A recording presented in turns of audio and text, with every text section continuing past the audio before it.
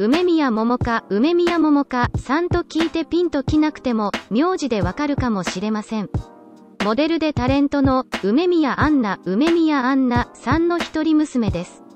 今回は梅宮桃香さんの病気や英語系の学校進学情報、そして養子についても見ていきましょう。梅宮桃香のプロフィール、本名、梅宮桃香。生年月日、2002年、平成14年1月21日。身長、165センチメートル。出身地、東京都。最終学歴、聖戦インターナショナルスクール卒業後、アメリカの大学入学準備中。目次、梅宮桃香の病気はギランバレー症候群疑いだった。梅宮桃香は二重国籍でインターナショナルスクール出身。梅宮桃香は梅宮達夫の養子になっていた。梅宮桃香の病気はギランバレー症候群疑いだった。梅宮桃香さんは、幼い頃から母の梅宮アンナさんとよくテレビなどに出演していました。成長とともにあまり見かけなくなったようでしたが、2019年に病気で入院していたことが判明。梅宮桃香さんはインフルエンザにかかった後胃腸炎に、さらにその後に足が痺れて、力が入らなくなってしまったのだそうです。急に足に力が入らなくなるとは、相当驚いて不安だったことでしょう。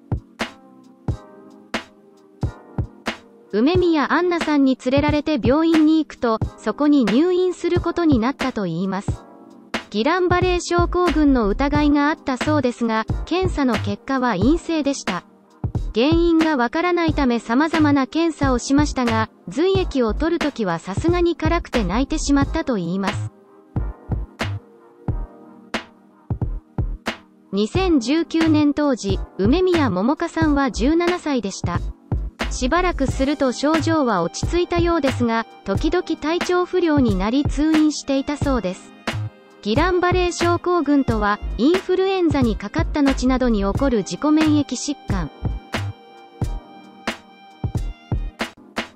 両手足に力が入らなくなり、麻痺が全身に広がったり人工呼吸器をつけなければならなくなることもあるようです。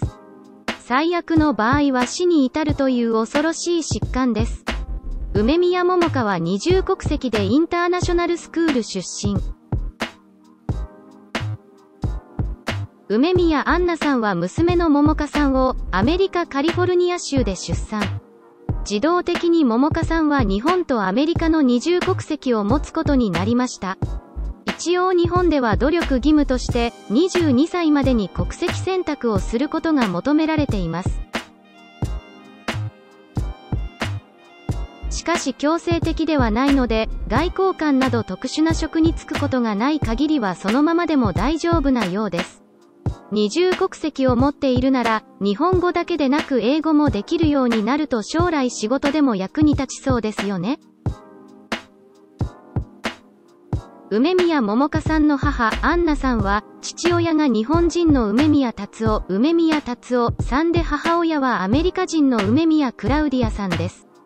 つまりアンナさんは日本人とアメリカ人のハーフなのですが、日本語しか使うことができません。顔立ちだけで見ると、英語をネイティブ並みに話しそうですよね。それを大人になって後悔した梅宮アンナさんは、娘には英語教育をという思いが強かったようです。アンナさんの父で俳優の梅宮達夫さんは普通の私立の小学校に入れたかったようで、教育をめぐって対立。結局アンナさんの意思通り、聖戦インターナショナルスクールに幼稚園から桃香さんを通わせることに。聖戦インターナショナルスクールは、東京都世田谷区にある私立女子校です。ナショナルスクールという名の通り、授業は日本語ではなく英語で行われます。日本語を理解できない生徒もいるため、学内は日本語が禁止だったそう。カトリック系でモンテッソーリ教育を取り入れ、国際バカロレア教育も行うために海外大学に進学する生徒が多いといいます。梅宮桃香さんもアメリカの大学でビジネスを専攻する予定でした。しかし、新型コロナウイルスの大流行で海外渡航も難しくなっています。2021年に更新されている梅宮アンナさんのインスタグラムでは、日本で親子仲良く過ごしている写真を掲載。つまり、まだアメリカの大学で学んでいない可能性が高いですね。もしかしたら、オンラインで授業を受けている可能性も否定はできません。コロナ禍で留学を断念したり延期したりせざるを得ない学生は非常に多いでしょう。早く落ち着いて自由に往来できる世の中に戻ってほしいですよね。高校時代に梅宮桃香さんはアメリカの一流大学のサマースクールに参加。それはカリフォルニアにあるスタンフォード大学です。世界ランクでもトップレベルにある大学に入学するのはハードルが高いですが、サマースクールは高校生なら参加可能です。加えて、聖戦インターナショナルスクールはハイレベルな教育を提供している学校です。実際に、スタンフォード大学やそれに匹敵する大学に進学している卒業生はたくさんいるといいます。コロナウイルスがある程度落ち着いたら、梅宮桃香さんの進学先も明らかになるのではないでしょうか？梅宮桃香は梅宮達夫の養子になっていた。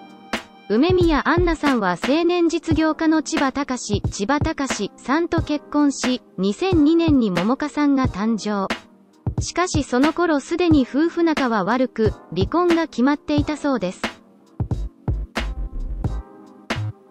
ちなみに千葉隆さんは、離婚後2004年に違法カジノに出入りしていたことで逮捕されました。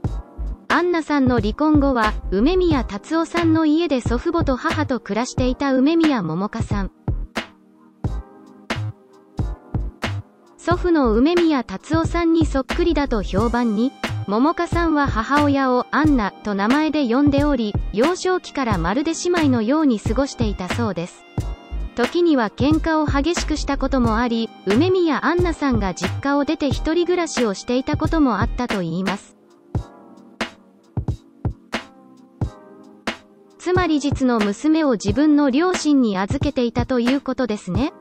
自由なお母さんを持つと、子供はいろいろ大変でしょう。そんな時に、母親よりはしっかりしていたのが祖父母でした。梅宮達夫さんは桃香さんのことを目に入れても痛くないほど可愛がっていたそうです。金魚すくいがしたいといえば、大きなプールと金魚を100匹買ってきてあげたり、欲しいものは何でも与えていたと言います。それが子供の教育に良いのかどうかはさておいて、桃香さんがいかに祖父に愛されていたかがわかりますね。結果的に梅宮達夫さんが亡くなる前に遺産対策として、養子縁組をしたそうです。梅宮アンナさんと桃香さんは姉妹になったのでした。